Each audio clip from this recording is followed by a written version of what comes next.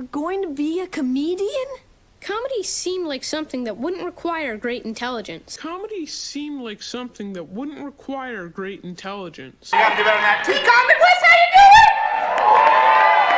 Are you guys ready to party? Laugh, laugh, laugh, laugh. Glad to be here. Folks, I gotta tell you, really, the only reason I'm here is because recently uh, a job application of mine was declined by Acorn, so. To be fair, I did show up to the job interview dressed as a prostitute. Laugh, laugh, laugh, laugh. Allegory, a story where the characters stand for abstract ideas. For example, good and evil.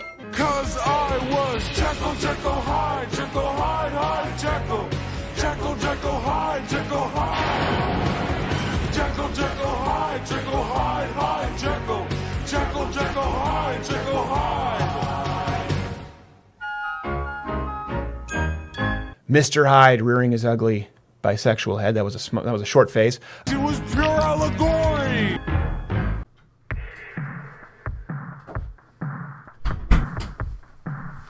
Today's video calls for the Cancel Me Daddy candle. Let's light the candle before we begin.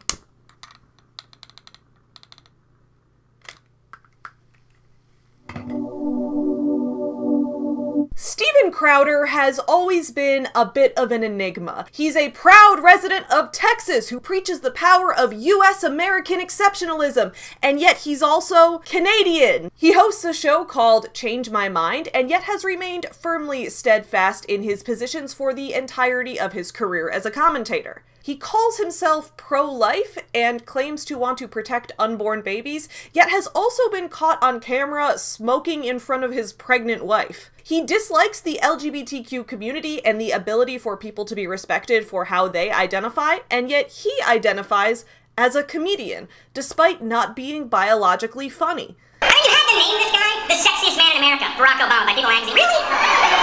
The sexiest man in America? But give that to Hugh Jackman, not the guy who looks like the photo negative of Alfred E. Neuman, okay?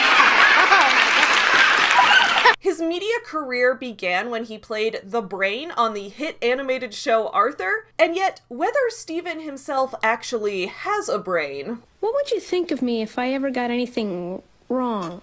For years now, Steven Crowder has been a controversial figure, even going so far as to get himself permanently demonetized on his nearly 6 million subscriber YouTube channel, after which he grew his following on alternate video site Rumble, along with profiting off of his merch sales, memberships, and more, the way many of us online commentators do. Despite Steven's long career of bullying LGBTQ people online, while also regularly dressing up as a woman himself, He's maintained a strong, loyal fan base of people who believe that Steven really isn't such a bad guy. After all, he's not really bullying people who are different from him because he actually hates them. Is that so? He's just joking. He's a comedian. And more than that, he's a warrior for free speech. When he makes mean, lazy, half jokes at other people's expense, it's not bullying. The joke is in the very fact that he's pushing the boundaries of free speech in the first place. He's just making a statement about how far free speech should extend. He's edgy. He's irresistibly taboo. He's like the violent video game that your mom doesn't want you to have. He's the cool kid. He's done. He's done! Steven Crowder is done! His career is over! About a week ago, at the end of April 2023, even the most loyal of Crowder's fans have left him behind. Longtime subscribers of his, known as the Mug Club, after the Louder with Crowder mug merch that he sends them, have left in droves, claiming that he's now finally crossed the line. Bet you didn't expect to hear MLK and crack whores. I have a dream of non crack whores at a Motel 6. And to be fair, he has. Now, a lot of us have pointed out that Steven's been crossing every line for a very long time, but since Steven never seems to run out of lines to cross, yes, he has crossed a line once again. It all began when, in April 2023, Steven posted a video addressing his in progress divorce from his wife Hillary, to whom he'd been married for more than a decade. In this video, Steven explained that he didn't want a divorce, and that his wife was choosing to leave him. However, the way he framed this discussion was kind of interesting. This was not uh, my choice. My then wife decided that she didn't want to be married anymore. And in the state of Texas, that is completely permitted. Yes, Steven Crowder posted a video being butthurt that the government allows a woman to leave him. Let me know in the comments below which is a bigger self own. Ben Shapiro assuring us that his doctor wife assured him that women never get wet during sex unless they have something medically wrong, or Steven going all surprised Pikachu on the state of Texas for allowing women to divorce him. Steven, you've done it. You've officially surpassed Ben Shapiro in the world of disappointing women. I said certified freak seven days a week. Wet ass P word. Make that pullout game weak. At least wet ass P word gate was hilarious. But Steven's situation is far from funny. After being utterly shocked that the law can't force women to be with him, Steven was shortly after exposed for abusive behavior toward his wife when a video circulated of him berating and threatening her while she was eight months pregnant and trying to de escalate the situation. Steven, Steven, abuse. Watch it.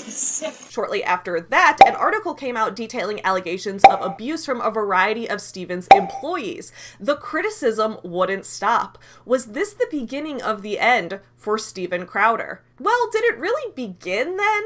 No, Steven's patterns of abuse and bullying began a long, long time ago.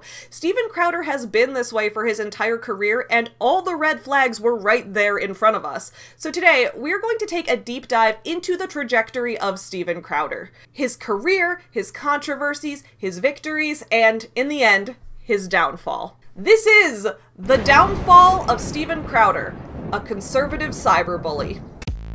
Get you some nuts. Yeah, you effin'. Up yours, woke moralist. We'll see who cancels who. Hey, what's up, my fellow small business supporters? I'm Savvy, and welcome back to Savvy Writes Books, the channel where we talk about books and business. Where today we are going to be talking about someone that we've covered a couple times in the past. Once when I was reviewing his book, and once when I was detailing a business dealing gone wrong between him and the Daily Wire, and that is Steven Crowder. But before we get too deep into it, please don't forget to subscribe to this channel because multiple times a week I put out new videos for you guys, and you won't want to miss them. So don't forget to ring that little notification bell.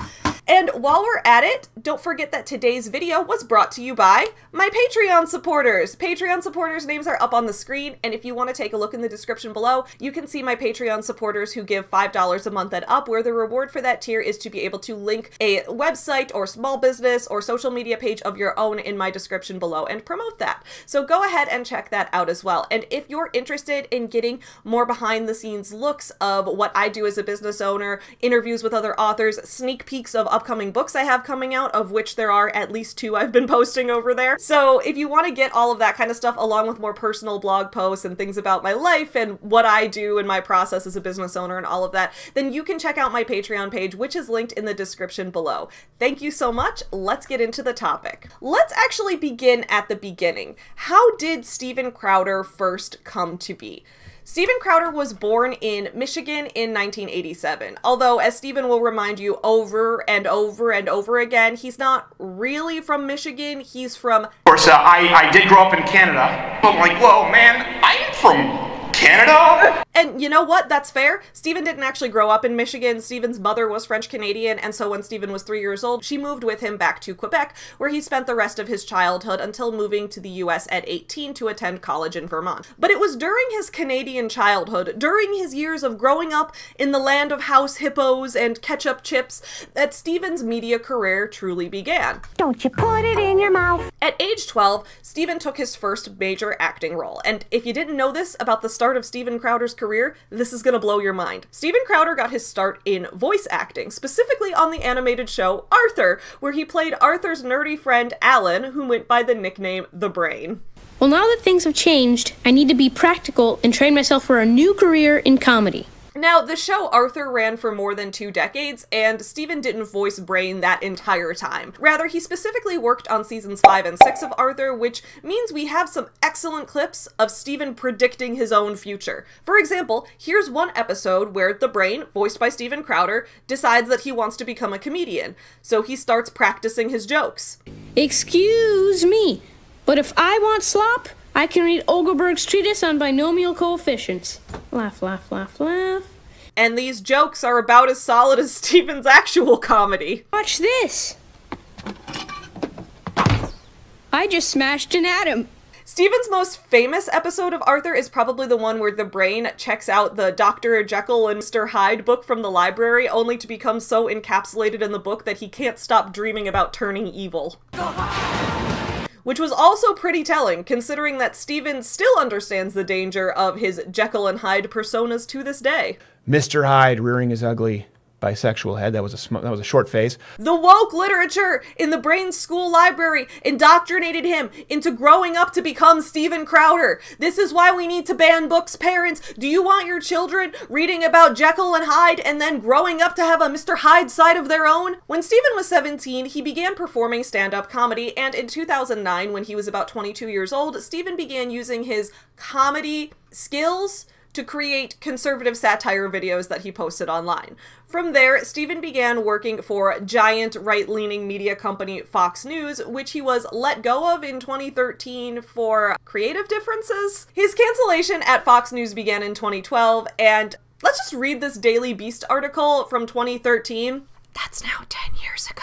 I think this article sums up the conflicts at Fox News better than I personally could. Steven Crowder is always playing defense, whether it's against union thugs in Michigan, anonymous liberals on Twitter, or, most recently, his now former employer at Fox News. Crowder has had his guard up ever since he was a bullied middle schooler in Canada. Fox News is mum about why the 26 year old conservative comedian lost his contributor contract with the network, but luckily for Crowder, not being ready for primetime doesn't mean his career is over. He's carved out a niche in conservative subculture largely unknown to those outside the movement. Only this article knew what was coming. If you haven't heard of Crowder, you're not alone. Before being scooped up by Fox News in 2009, his main stage was YouTube. Despite identifying himself primarily as an actor and comedian, his most recognizable role was a run as the voice of the brain on the PBS Kids series Arthur. But in the past eight years, the 26 year old Canadian transplant went from self producing politically charged YouTube videos to appearing regularly on Fox News and writing a semi regular column on FoxNews.com on topics like the benefits of abstinence and his own premarital virginity. By the time he emceed this year's Conservative Political Action Conference, CPAC, it seemed like Crowder was on his way to becoming a mainstream conservative pundit. I'm glad that other people think Steven Crowder being Canadian is funny too. I'm glad that that's something everyone can laugh at. But last week, after months of radio silence, Crowder laid into Fox News host Sean Hannity and Fox News in general during an interview with Hot Air's Ed Morrissey, accusing Hannity of kowtowing to liberals like Anthony Weiner and Michael Moore, while adding complaints about his difficulty negotiating a new Fox contract. It was a strange way to resurface nearly seven months after his last television appearance. The next day, he posted a lengthy apology to Hannity on his Facebook page with no mention of his broader Fox bashing. But it was too late. Breitbart.com reported that Crowder had been canned, quoting a senior Fox employee saying that he was never that funny and crossed a line more than a few times. A spokesperson from Fox News confirmed to the Daily Beast that his contract would not be renewed. And finally, here is my favorite part of the Daily Beast article about Steven's departure from Fox News. Despite his career as a polemicist, Crowder doesn't identify as a political person or even a Republican. I'm a cultural person, he says, often presenting himself instead as a comedian and actor. Well, too bad, Steven. Just because you identify as a comedian doesn't mean you're biologically funny, and it doesn't mean that I want you in my funny spaces where I feel unsafe around your groan worthy jokes. The article continues regarding Steven's identity. Nor does he identify with most people his age, assuming, as he has throughout his life, that most of his peers hate him. Even when I told him I was a huge fan of Arthur, he assumed I meant that I no longer liked the show after discovering his tenure as the brain. So Steven Crowder is very much not like other girls, which is funny considering he's literally Gretchen Wieners after she snaps. You should totally just stab Caesar! Dave Rubin is Gretchen Wieners before she snaps, but we'll get into that later. Steven's relationship with Fox must have been mended enough somewhere along the way because in 2015, in addition to writing an opinion column for Fox about the powers of abstinence, he published an article to their site about why he's so happy that he waited until marriage to have sex. Here are some highlights from that article. Let me preface this column by saying this. My wife, I still have to get used to saying that, and I not only waited sexually in every way, no, we didn't pull the Bill Clinton and technically avoid sex sex, but we didn't shack up as live-ins, and most importantly, we courted each other in a way that was consistent with our publicly professed values. We did it right. Well, there's one thing that Steven and I can agree on here, and that's that yeah, Bill Clinton was a fucking liar. Now, I just want to make something clear. I believe that every individual person is entitled to their own sexual boundaries that they decide for themselves. If someone wants to wait until marriage for sex, that's their choice and we should respect that. Similarly, if someone wants to have a lot of sex but never get married, that's also their choice. Again, I'm a proud American who believes in freedom for all. So there's nothing wrong with Steven Crowder choosing to remain abstinent outside of marriage. That's his choice. It's not a choice that I made, but it's a choice that he has every right to. The part that bothers me is when he's saying that he did it right that there's one right way to approach romantic or sexual relationships, and Steven's way is obviously the right way, and if you don't do it his way, you're wrong. No, I will not make out with you. that's not up to you, Steven, and that's not a very freedom oriented way to behave. Feeling judged? I couldn't care less. You know why? Because my wife and I were judged all throughout our relationship. People laughed, scoffed, and poked fun at the young, celibate, naive Christian couple. We'd certainly never make it to the wedding without stupping, and if we did, our wedding night would be awkward and terrible, they said. Turns out people couldn't have been more wrong. Looking back, I think that the women saying those things felt like the floozies they ultimately were, and the men, with their fickle manhood tied to their pathetic sexual conquests, felt threatened. I think it's important to write this column not to gloat, though I'll be glad to, but to speak up for all the young couples that have also done things the right way. When people do marriage right, they don't complain so much, and so their voices are silenced by the rabble of promiscuous charlatans peddling their pathetic worldview as progressive. This man was paid by a giant media company to write this. To write, they don't complain so. Where's the sources, Steven? Please, sir, can I have a source? So let me reiterate. If others judge Steven for waiting till marriage, that's wrong. Those are his personal sexual preferences and boundaries, and as a human being with bodily autonomy, he is entitled to those.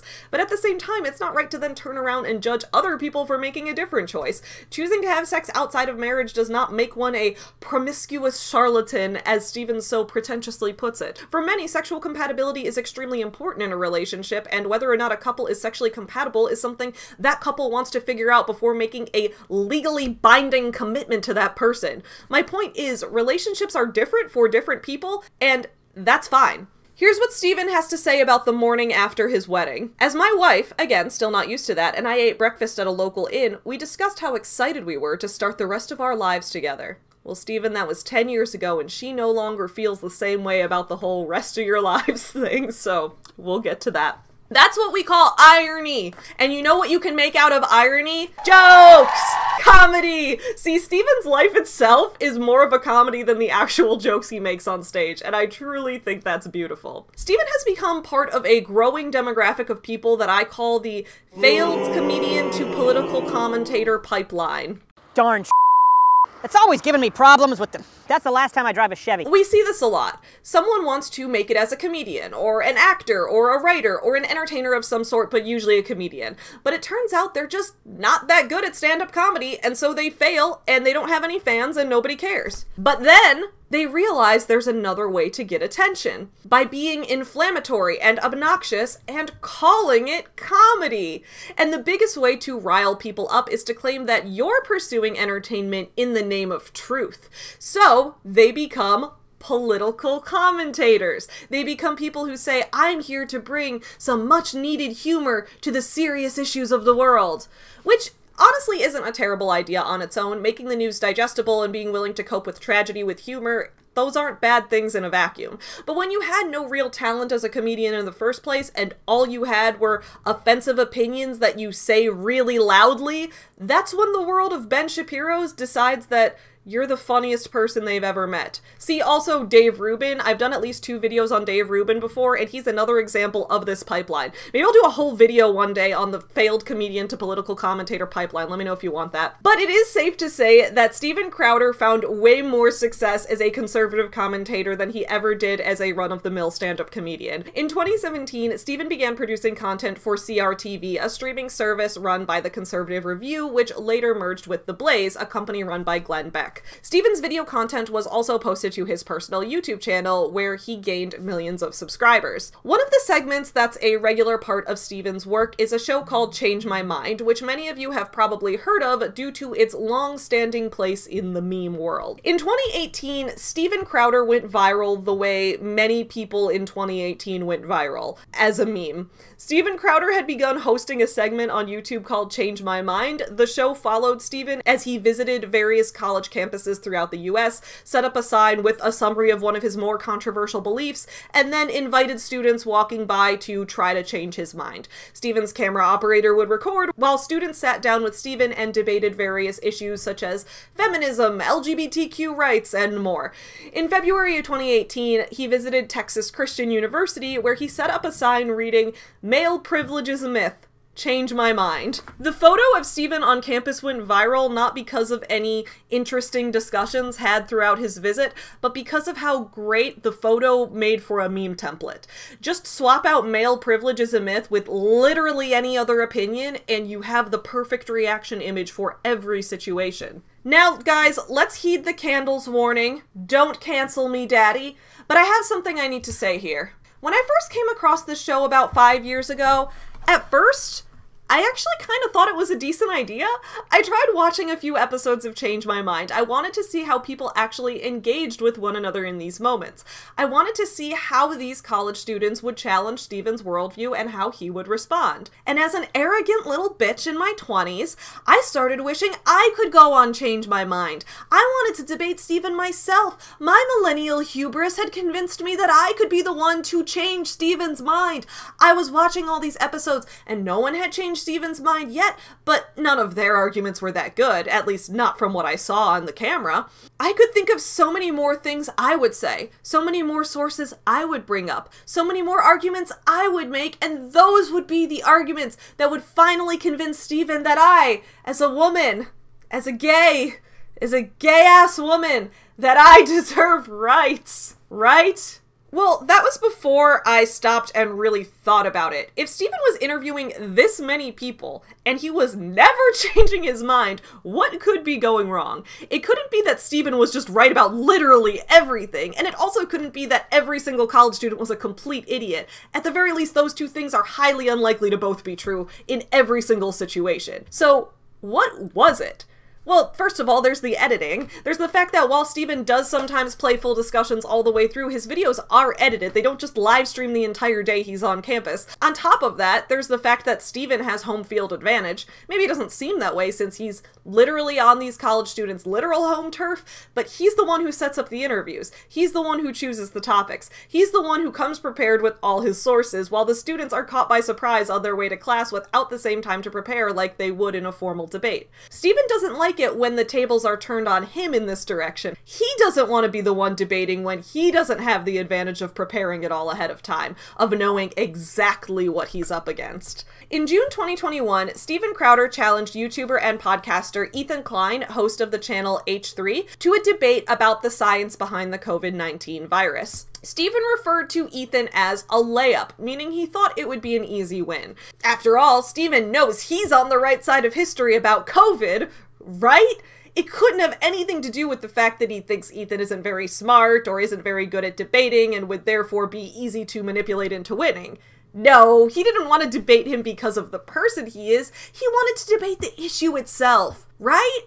No, of course not. See, during this debate, Ethan pulled a little bait and switch with Steven. This all started a while back when, at a political event, Steven Crowder backed out of a debate with Sam Seder, host of the show The Majority Report, which reports news from a more left leaning angle. So when it came time for Ethan to debate Steven on stream, Ethan surprised Steven by bringing Sam Seder on as a guest to debate Crowder in his place. Oh no, Sam Seder! What a wow! What a fucking nightmare! Now, I can understand why Ethan did this. After all, Ethan himself said that he isn't a debater. He doesn't do debates, but Sam does. Wouldn't it make sense for two people who both make content in the political arena, who both do debates in the first place, to be the ones to have the debate, rather than Ethan, someone who admits he wouldn't be very good at it? Does Steven really want to have an honest, potentially mind changing discussion about COVID? Or did he just want an easy win? Well, as it turned out, it was the latter. When Sam Seder appeared on stream, Steven rage quit the debate, refusing to continue the discussion. You run away twice. Cold feet again. He cited his reason as being that Ethan had lied to him, and he didn't want to participate in a stream that was scheduled based on a lie. And just to be clear, I really didn't like that Ethan did this either. I really do wish that he'd been honest about the terms of the debate. I wish he hadn't tricked Steven. I also wish that Ethan had been willing to participate in the debate itself. Even if debating isn't Ethan's forte, I do think it's important to be able to defend your positions when they're held up to scrutiny. And let's be real, he did agree to have the debate. So I'm not proud of Ethan in this situation either.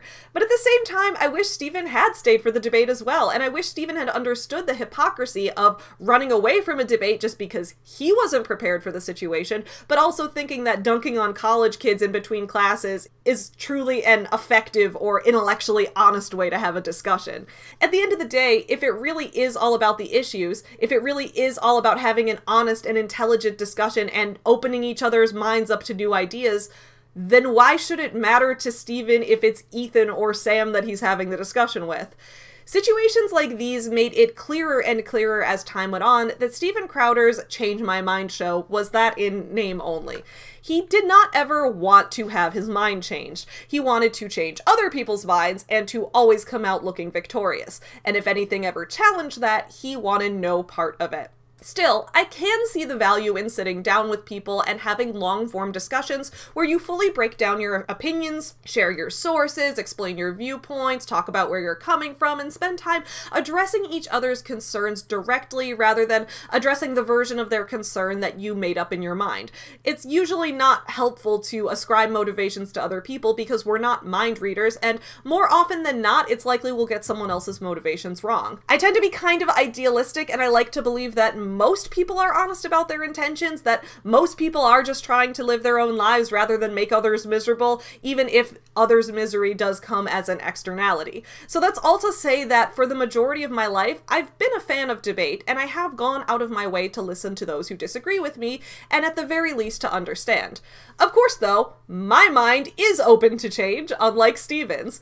And because of that, fairly recently, my mind actually has been changed. Not by Steven Crowder, by another YouTuber, one that I actually like, a YouTuber named ContraPoints, whose new video, The Witch Trials of J.K. Rowling, delved into the ways we frame debates and discussions when we're in conversation with someone who's our ideological opposite. In this video, Natalie breaks down the ways that debate isn't always productive in every situation. How sometimes even engaging in an argument in the first place is an acknowledgement that the Overton window even encapsulates that viewpoint in the first place. Like, for example, very few people would even spend time debating whether the US should replace the presidency with a king or a monarch. Why? Because that's not something that a significant group of people are actually considering. Most of us wouldn't spend time in an argument with a flat earther because most of us know that the earth isn't flat. Because most of us know that the flat flat earth concept isn't something we're even entertaining. It's not a real debate, it's a question that's long been answered, end of story. So while I do still believe in the power of discussion, I have recently come to realize that sometimes you have to know when to quit. When I meet people whom I truly believe are arguing in good faith, people who seem to share similar values to mine in the sense of we agree on an ideal world of equality for all, but their beliefs may diverge and that they have different ideas on how to achieve that or different like systemic ideas on the actual practicality of those things. Maybe as a result of us sharing different life circumstances or a different education that leads us to see the world differently. In those cases, yes, I want to discuss things with them. I want to understand where people who think differently from me are coming from. Otherwise, all that'll be left are the straw men I construct when I imagine what their reasoning is rather than just asking them.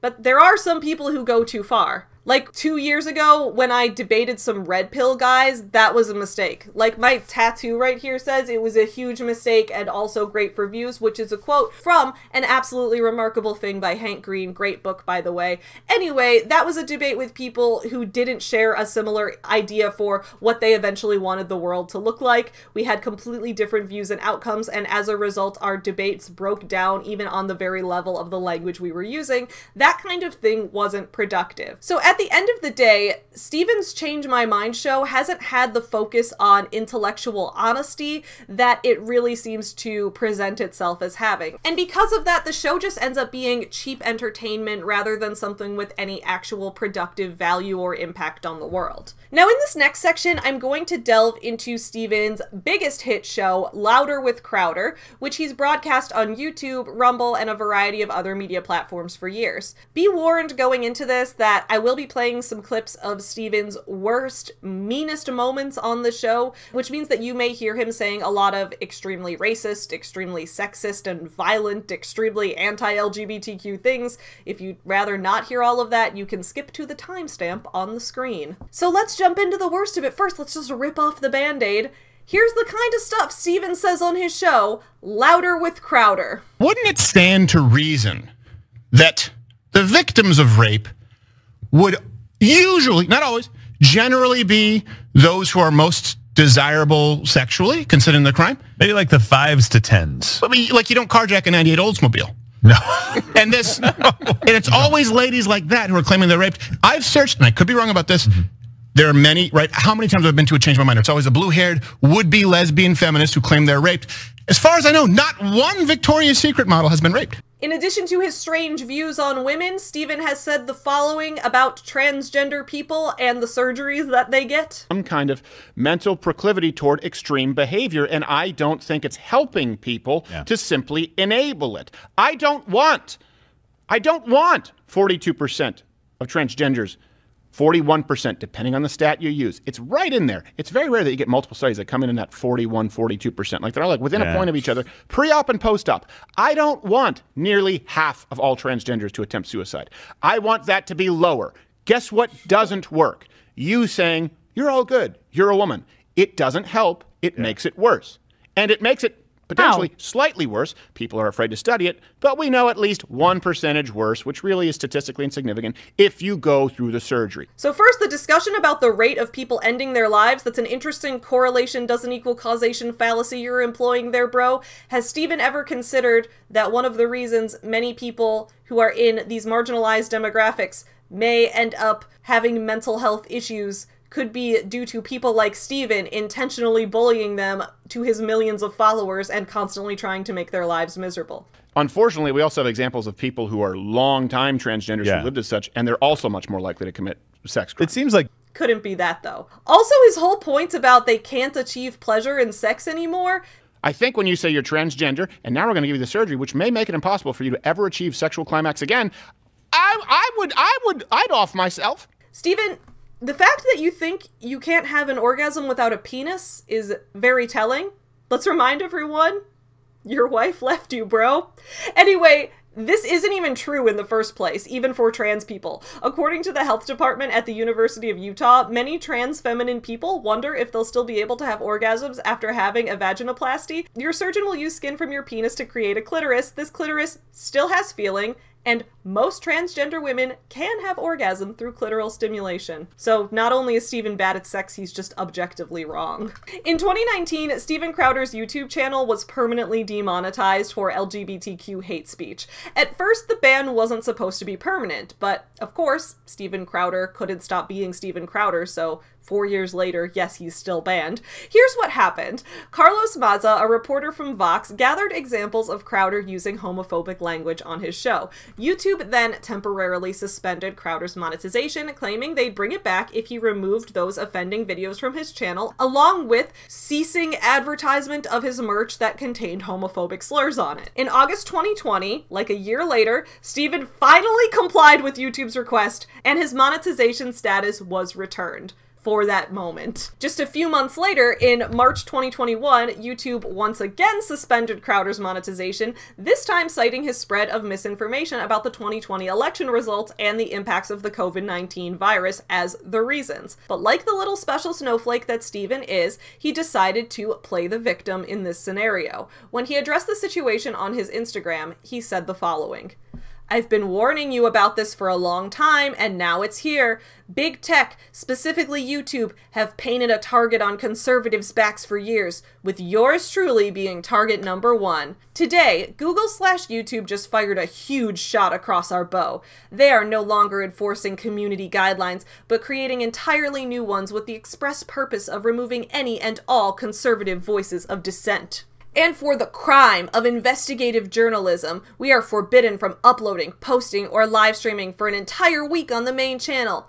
Don't worry, we've got something for them, smiley face. What's so funny about this is that what YouTube was doing in this situation was extremely capitalist of them. Steven should like that theoretically. YouTube is a site where advertisers pay to have their products promoted before content that viewers watch. If an advertiser thinks that the content is offensive or inaccurate or harmful to their customer base, it's not in their best interest to advertise on that video. Therefore, the more videos that YouTube allows to be monetized while being non advertiser friendly according to their standards, the more money YouTube as a company will lose. Look, I'm not saying I like this system. I've gotten videos demonetized for stupid ass reasons before, and I'm not a fan of the way that this system works as a whole. But it is a capitalist approach. It's letting the free market decide. And the free market decided that it didn't like paying Steven Crowder to advertise on his videos. At some point, if that's going to be the way that you make money, you're going to have to adjust your behavior to the market. It's not about censorship, it's about being a smart businessman. The same idea is going to come back in just a bit when Steven has a big falling out with his former bestie Ben Shapiro over a Daily Wire contract. I love the smell of commerce in the morning. Like I said, Steven is Gretchen Wieners after she cracks, and Ben Shapiro is Regina George, no question. You should totally just stab Caesar! There's a lot of things we could call Steven Crowder. A douchebag, sure. A bully, absolutely. But a quitter? Never. Steven wasn't going to bow to YouTube's corporate overlords. Instead, he'd become worse. He'd become even more annoying. And more than that, he'd become even more racist. The Louder with Crowder show has long been a place for racist humor. I say humor in quotes because the racist part is there, but the joke part usually isn't. Like, here, I'm gonna give an example of why this does work as racism but doesn't work as a joke. For example, let's compare these two clips. Here is a clip of Steven Crowder doing a racist impression of Barack Obama. Most happy about the new policy. These people. So yeah, I'm gonna buy, I'm gonna buy a ah. plow, man. I'm gonna plant that corn. Go get a John Deere. Barack Obama, mother. I'm the president of plowing that ass. You.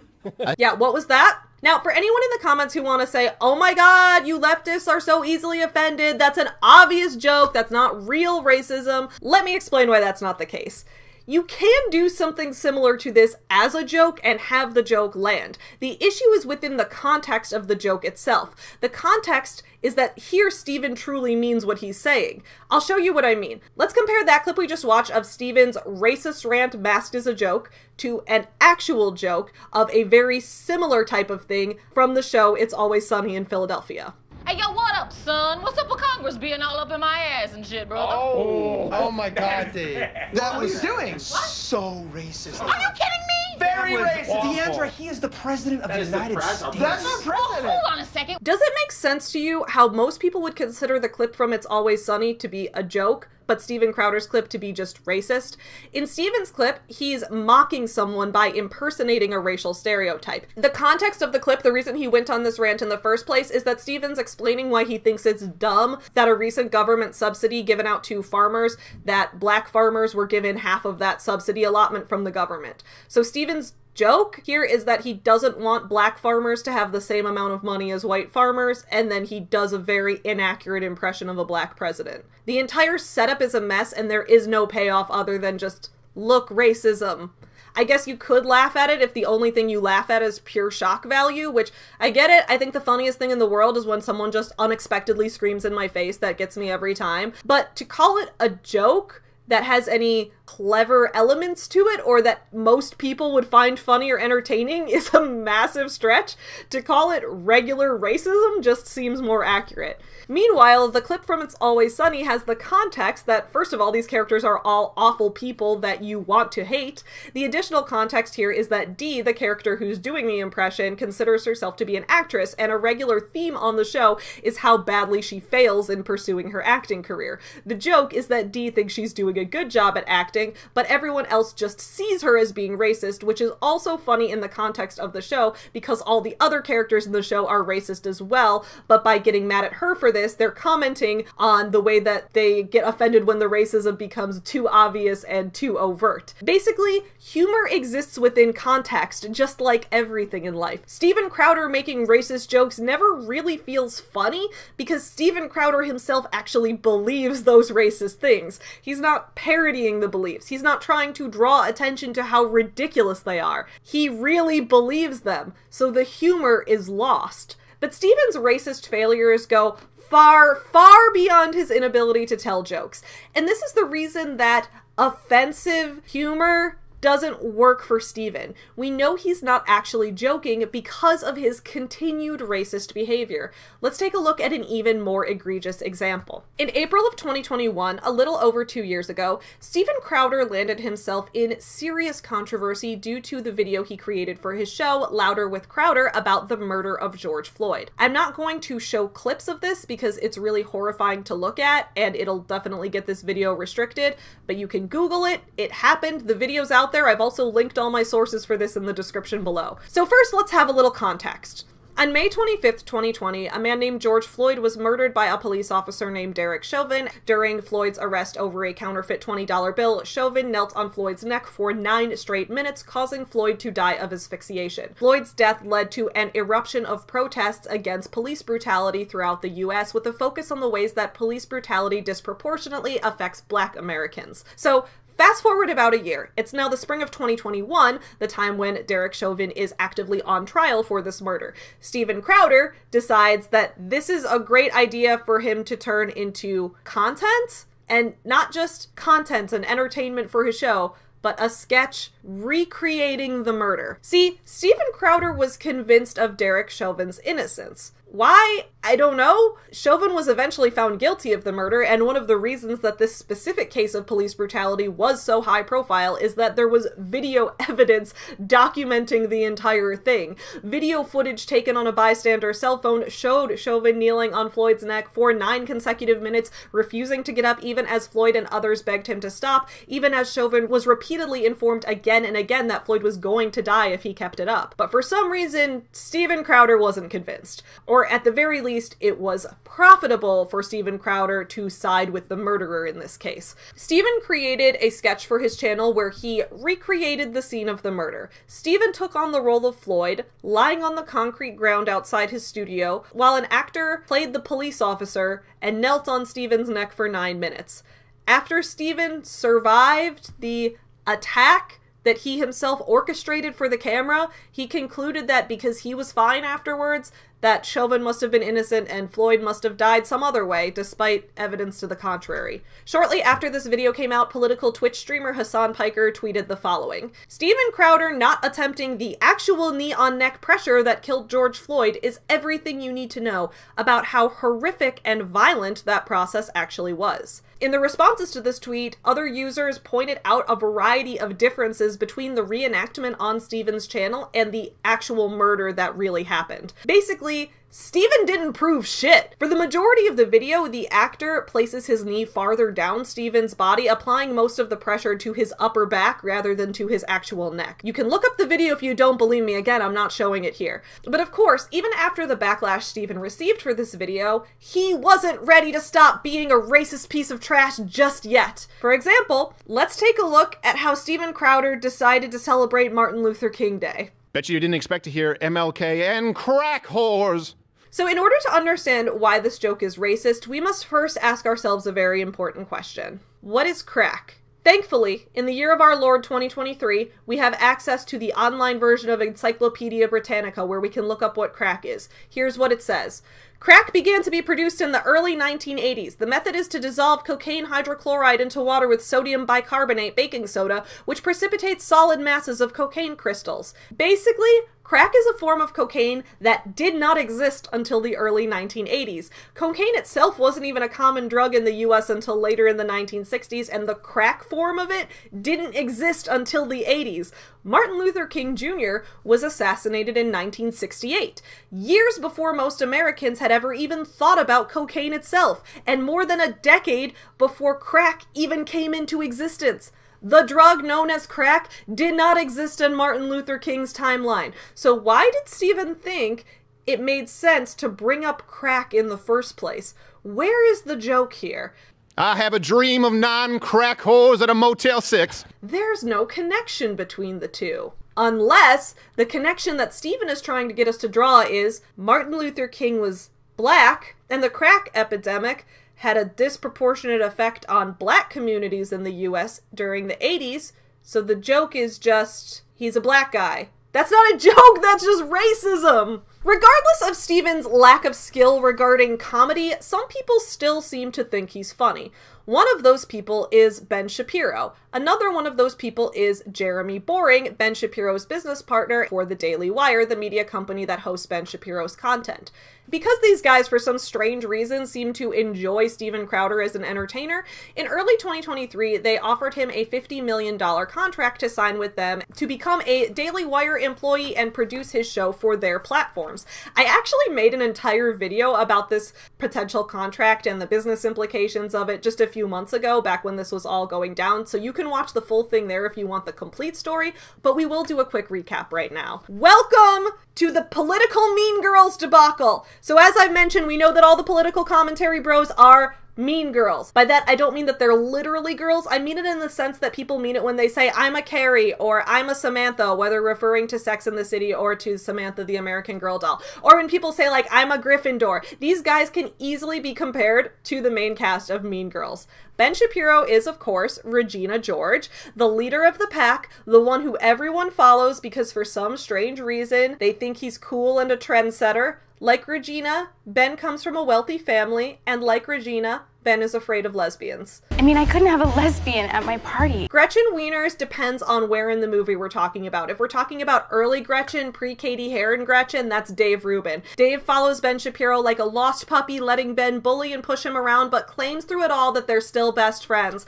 He lets Ben treat him like shit in the name of friendship because friendship with Ben is what leads to popularity, or in these guys' case, profit. And just like Gretchen Wieners got diarrhea at Barnes & Noble, Dave Rubin got diarrhea on Mount Sinai and wrote about it in graphic detail in his book Don't Burn This Book, which I reviewed on this channel in October 2021. Next is Karen, whose boobs can tell when it's raining. She's Tim Pool. Not very smart, but I bet Tim Pool's beanie can tell when it's raining.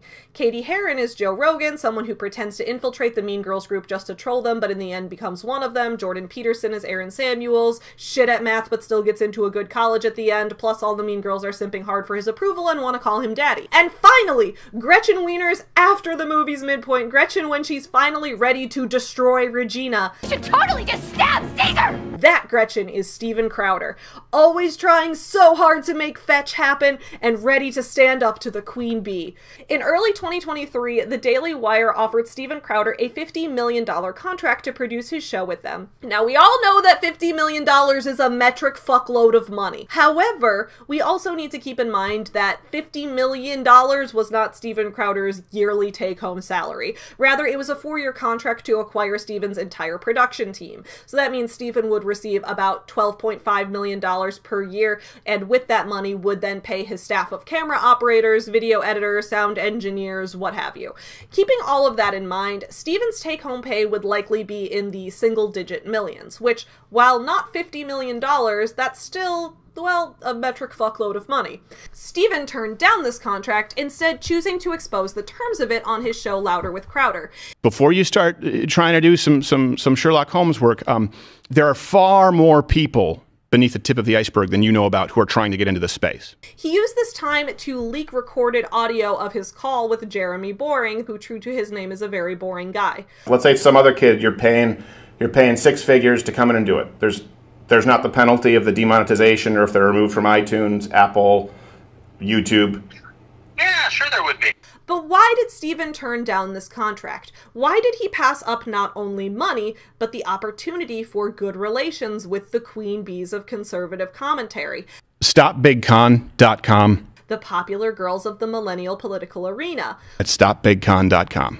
Why did he burn bridges with Ben Shapiro, Matt Walsh, Jeremy Boring, Candace Owens, and all the rest of the Daily Wire team? StopBigCon.com. According to Steven, it was because of a clause in the contract that stated that while Steven would retain creative control of his own content, being able to hire his own production team and write his own scripts and all that, if he were to get demonetized on YouTube, the Daily Wire was allowed to reduce his salary and reduce the amount of money paid to him in the contract. Heartbreaking. Worst person you know just made a great point. The person who made a great point in this case is once again not Steven Crowder. This time it was Ben Shapiro. The Daily Wire was right in this case. Ben Shapiro and his Daily Wire friends have been open from day one that they're free market capitalists above all else. Make more fucking money. They're business people and they're here to make money. And Steven Crowder, while a good entertainer, again, I can't claim to understand their taste, is also objectively a loose cannon. Let's keep in mind that he got his ass demonetized on YouTube for the past four years, only being able to keep his monetization for a couple months at a time before YouTube takes it away from him once again.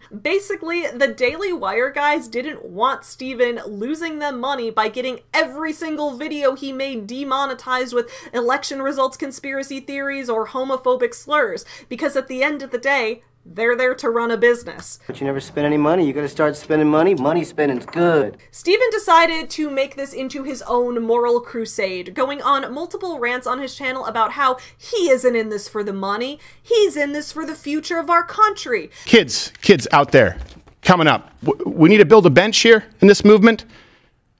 It's almost impossible. Don't sign don't sign these contracts. How conservative media outlets only care about making money, but he truly cares about taking back the country from the woke leftists at any cost, even if it means he loses money. Great job, Steven. I'm sure your most die-hard fans thought you looked like a martyr, but most people saw through this act as the publicity stunt that it was. StopBigCon.com. Wow, Steven, you really exposed right-wing media outlets for wanting to make profit? A bold strategy, Cotton. Let's see if it pays off for them. for understanding the capitalist system that they've been openly supporting since day one. Where's Surprised Pikachu? Surprised Pikachu uses free speech martyr. It's not very effective. So we've covered a lot about Steven Crowder's career as an actor, comedian, and broadcaster. But what about beyond that? Well, Steven Crowder does have one book out, and since I'm a book reviewer, you guys know I reviewed it on this channel. Toward the end of 2022, Steven Crowder released his first and only children's book, a picture book called Beautiful Differences, which tells the story of opposite gender twins who have different interests. It's a story in quotes because this book had no story. It was just Steven struggling really hard to stick to a rhyme scheme while saying nothing of note about the twins other than the fact that they enjoy playing and have parents and Steven's a really shitty fiction writer, okay? The book was published by Brave Books, a company that exists solely to produce children's picture books written by right wing conspiracy theorists. I'm not even kidding. I did an entire video about them. They've also published a book by Libs of TikTok. They've published a book by Kirk Cameron. The books feature exciting topics that kids love, like why the free market is better than socialism, the debate over centralized banks, and the importance of border control. I'm not even kidding. It's all right there on their website. You can take a look. Anyway, I did a whole hour long in depth review of Steven's book in full, so you can check out that video if you want all the details. But I did still want to talk about this book here because it's going to serve as a nice segue into our next topic Steven's divorce. When Steven released Beautiful Differences, he had recently become a father.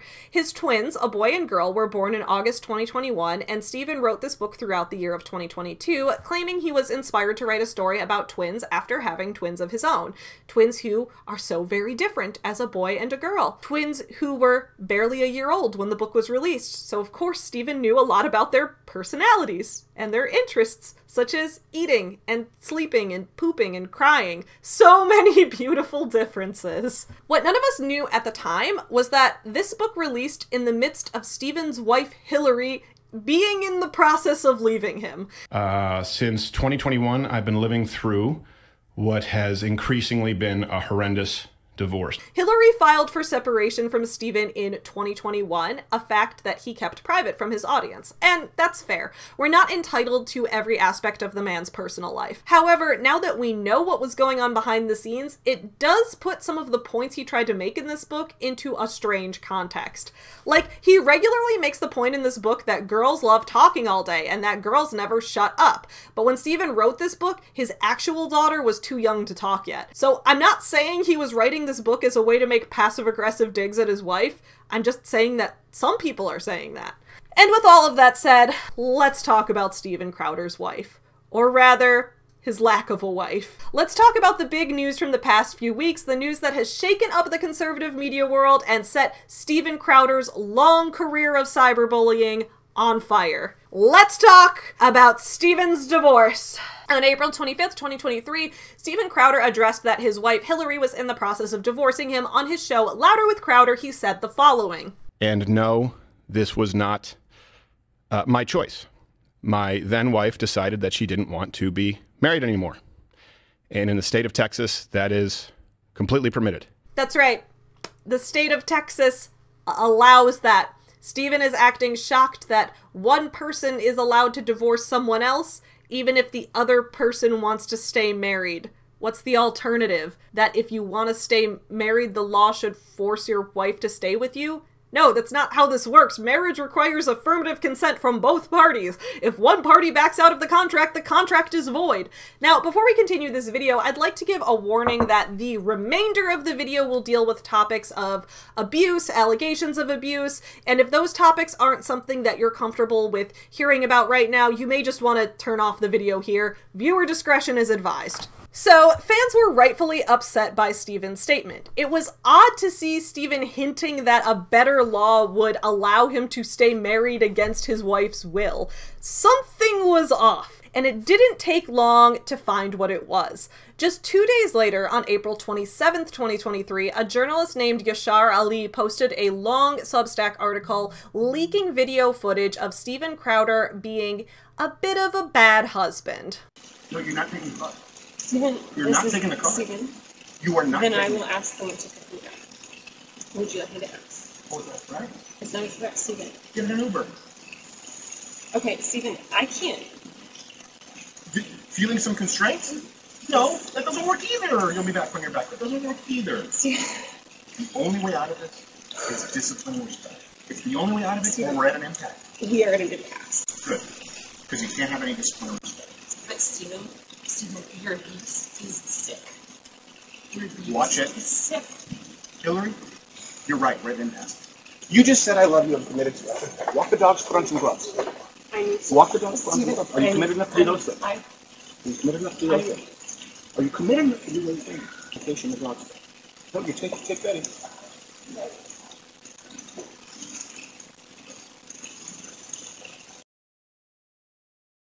So let's break this clip down. In the video, Steven's wife is eight months pregnant with their twins. She's trying to take the car to go run errands, which Steven agrees need to be done, like going to the grocery store. However, Steven doesn't want her to leave because then he won't have access to the car. He'd rather her take an Uber so that the car is available should he want to leave. So, a couple questions. Why does a couple living in a house like that only have one car? I won't speculate, but if you want to draw your own conclusions, I won't judge. Second, if Steven wanted his wife to take an Uber to get groceries, then he's acknowledging the existence of transportation other than their own car. So if Steven badly needed to leave the house while she was gone, Couldn't he just take an Uber? And third, the most important question on my mind why the fuck is Steven smoking around a woman who's eight months pregnant? Time and time again, Steven Crowder has claimed to be pro life. He's against abortion rights, and he'll assure us that it's not because he wants to control women, but because he values the lives of the unborn. Well, two unborn lives are right there in front of you, bro, and they're the lives of your own children, and you're smoking around them. What? As many have pointed out, another point of note in this video is how hard Hillary is trying to de-escalate the situation, reminding Steven that she loves him, asking him to calm down, trying to leave the situation and take a break before the situation escalates. But Steven won't let her, because of course, it's women who are emotional and talk too much, right? Now, Steven claims that this video was edited, that it was taken out of context. And I'm not a lawyer, I'm not a judge, I'm not the jury, and I wasn't a witness. I don't have any special information about what happened in that moment. All I know is that it's a little hypocritical for Steven to complain about deceptive editing in videos when that's what he's been doing his entire career, cutting up episodes of Change My Mind to showcase his best arguments rather than letting the entire day play out as an unedited live stream, selectively choosing which statistics about LGBTQ people to share without telling the complete story, grabbing clips here and there of his conversation with Jeremy Boring to make himself look like the victim in a contract negotiation. All I'm saying is that Steven Crowder has never been someone with trustworthy views on deceptive video editing. But beyond this video itself, there's more to the story. Let's take a look at the full Substack article where this video was posted.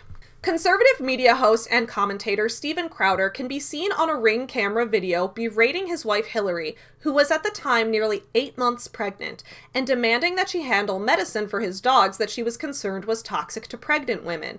In the video, he snaps at her to put on her gloves to give his dogs medicine, walk the dogs, and otherwise perform wifely duties as she is clearly emotionally distressed. Toward the end of the exchange, Hillary Crowder says to her husband, Your abuse is sick. He snaps at her, saying, Watch it. Fucking watch it. Moments later, off camera, Steven Crowder, by his admission, would lose control and scream at his pregnant wife in a threatening tone, I will fuck you up, which led his wife to flee their home. In a statement sent by Hillary Crowder's family, they say that she spent years hiding her husband's mental and emotional abuse from her family. The very next day, on April 28th, Steven responded to this article with a statement of his own. I commented on my ongoing divorce on Tuesday, requesting privacy in the best interest of the family, but also by court order agreed upon by all parties. Look, broken marriages are ugly, and in them people do ugly things. Myself, of course included, I would never claim otherwise. However, due to recent misleadingly edited leaks to the tabloid press without context and not subject to consequences of the court, well, if not privacy, the next best option is truth. So today, I have filed a motion to officially unseal all files as they relate to the matter of legal record. Finances, relevant medical records, including mental health history or evaluations, depositions, and any motions or sanctions from the courts of Texas. I will not be leaking private marital information to the press, but if the privacy agreements are not respected by all parties, I will address all that is a matter of irrefutable legal record in full context next week. Yep. Steven decided to fight against the allegations of abuse by checks notes, threatening to release his wife's medical records to the public. Very cool, very non abusive thing to do. Now, theoretically, this could be a he said, she said kind of situation. You might be watching this video thinking, well, what if? What if Steven is right and there was some kind of deceptive editing? What if he's being falsely accused? Well, to that I say, once one allegation of abuse comes out, we often see many more follow. And when a lot of people have a story about you hurting them, it's possible that maybe you're the problem. Four days later, on May 2nd, 2023, the New York Post released an article citing allegations of abuse from Steven's former employees. I'm not shocked, but it was pathetic what he did to Hillary, a former employee told the Post. That might not be the Steven you see on his show, but that was the real Steven. The Post spoke to 10 former employees who claim Crowder ran an abusive company where he often screamed at his employees, including his own father, exposed his genitals, sent out directives to arbitrarily fire people, and made underlings wash his dirty laundry. The former staffers worked for the show at different times from its inception in 2016 through 2022. The vast majority had left the company voluntarily. They requested anonymity because they either feared retaliation or had signed NDAs. All said they felt compelled to speak out about the media personality after the sickening footage was made public, and his former co host Dave Landau called him a bully in an interview last week. We don't want Steven to suffer, we just want the abuse to stop, or at least let future employees know what they're getting themselves into, said one former employee. Charismatic and at times a volatile Crowder could also be controlling and capable of working every angle of your emotions. With long hours, unrealistic expectations, and emotional outbursts, he often burned through staffers, many of whom were young, starry eyed fans who had never worked in traditional media and relocated to Texas for the opportunity to work with their hero. And while the louder with Crowder ethos was politically incorrect, his antics crossed the line. He was known to expose his genitals to staffers, many ex employees told the Post. Six sources say they witnessed such lewd behavior firsthand. A former staffer recalled driving back from Illinois in a van after a college show in March 2018 when former producer Jaron Monroe, whom Crowder dubbed Not Gay Jared, was targeted. Jared was asleep in the last row. Steven was in front and he was joking about what he was going to do, the staffer recalled. He climbed over and dropped his junk on top of Jared's shoulder. And during a 2018 fight with six people from the company, another former employee said they witnessed Crowder put his testicles on an assistant and childhood friend John Goodman, who shook off the incident.